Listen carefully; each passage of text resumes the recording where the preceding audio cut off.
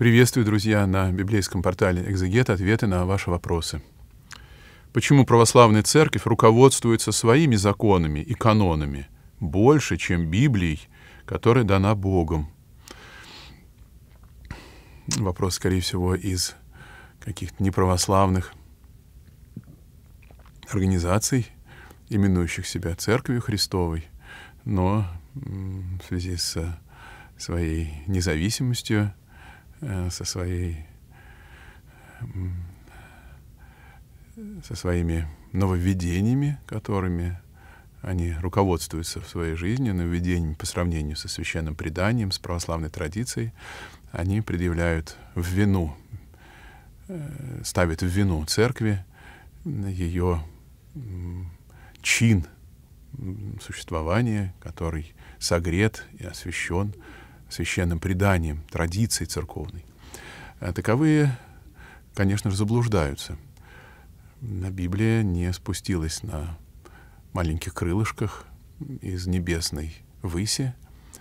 Библия, ну, давайте будем говорить особенно о книгах священного писания Нового Завета, была сформулирована э, э апостолами, учениками Иисуса Христа, э, из писаний которых нам и явился образ Бога воплотившегося и образ Его действований и Его учений. Это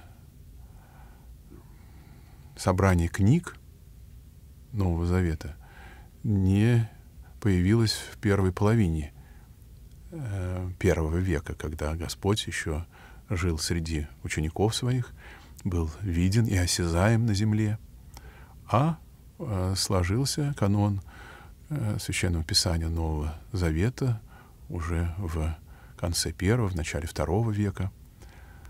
И то, что отражено в этих новозаветных книгах, поначалу являлось достоянием как раз предания это не было записано, но это было уже увидено и усвоено учениками, свидетелями Бога воплощения. Потому то, что оказалось записанным, является вторичным по отношению к тому, что вначале было воспринято и э, усвоено апостолами. Сначала священное предание, а потом, как его особая форма — является Священное Писание, сформулированное, записанное, кристаллизованное, так сказать, то, что приняли, приняла Церковь от своего божественного учителя и спасителя. А потому сказать, что э, вторично э, многое, что не вошло в тексты Священного Писания Нового Завета или не является э, Богом дарованным несправедливо, ибо божественное откровение воспринято как священное предание церкви, и одной из форм его является священное писание. Именно в рамках, в недрах, в духе священного предания мы призваны и толковать священное писание. Так что та самая Библия, о которой вы говорите, она э, указывает нам на ту практику благочестие, которое и на тот опыт богообщения, который содержался и содержится в церкви. Эти, как вы называете, каноны и законы, они отражены в Священном Писании Нового Завета.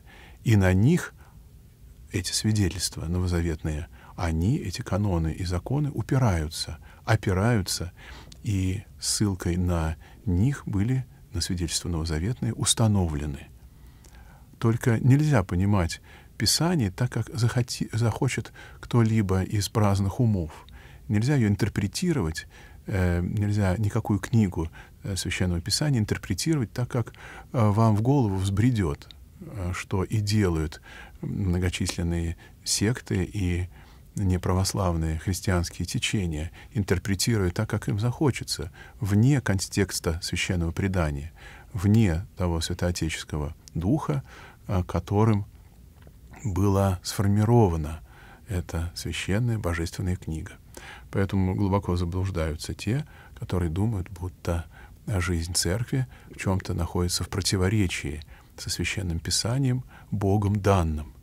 Бог дал священное писание в недра священного предания, потому оно, оно писание, нам необходимо как измеритель э, подлинности и истинности наших церковных установлений, и сами эти установления происходят в связи с теми определениями, которые э, зафиксированы в Священном Писании.